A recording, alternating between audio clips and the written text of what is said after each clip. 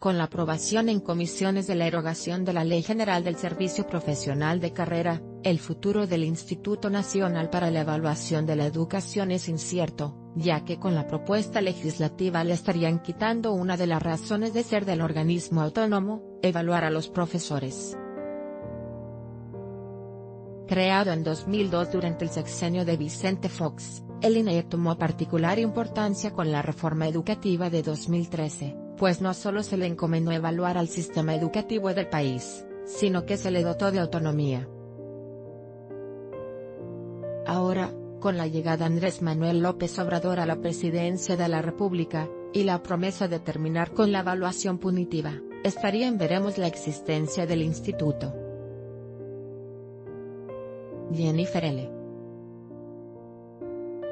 O'Donoghue, directora de la organización Mexicanos Primero, dijo que sería un error eliminar al instituto, ya que, si bien tiene varias áreas en las cuales mejorar, su papel es señalar en qué se puede mejorar dentro del sistema educativo, no solo en materia de evaluación docente. No podemos olvidar que el INE evalúa si tiene las condiciones materiales, los materiales didácticos, los apoyos que necesitan para hacer su trabajo, y desde luego la evaluación de los estudiantes, que debe ser el centro, dijo la especialista. El papel del INE ha sido cuestionado por diversos actores, no solo del magisterio decidente que lo acusan de ser parte de la evaluación punitiva, sino por organismos como la Auditoría Superior de la Federación, que al revisar la cuenta pública 2015 señaló que el instituto falló en demostrar que los resultados de las evaluaciones a maestros y alumnos sirvieron para mejorar el sistema de aprendizaje.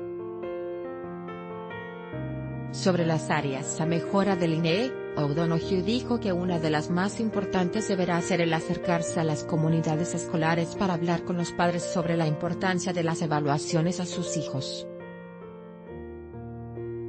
Pero para la especialista algo está claro, debe de seguir existiendo una instancia autónoma que evalúe el sistema educativo en el país.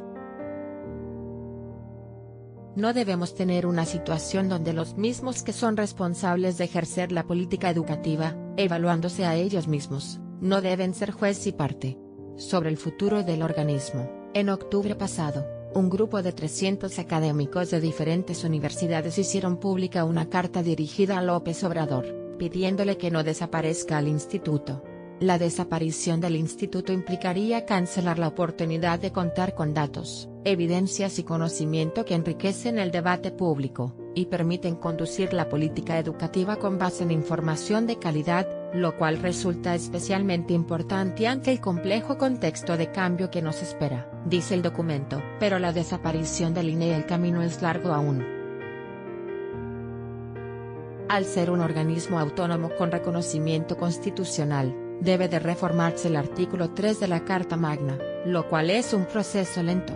No es sencillo desaparecer al INE, debes de tener dos terceras partes de mayoría en la Cámara de Diputados y el Senado, y después que 17 congresos locales la aprueben. Por más que Morena tenga mayoría, es una labor complicada porque no tienen por sí solo la mayoría calificada, explicó Víctor Manuel Alonso, especialista de la Universidad La Salle en temas de derecho.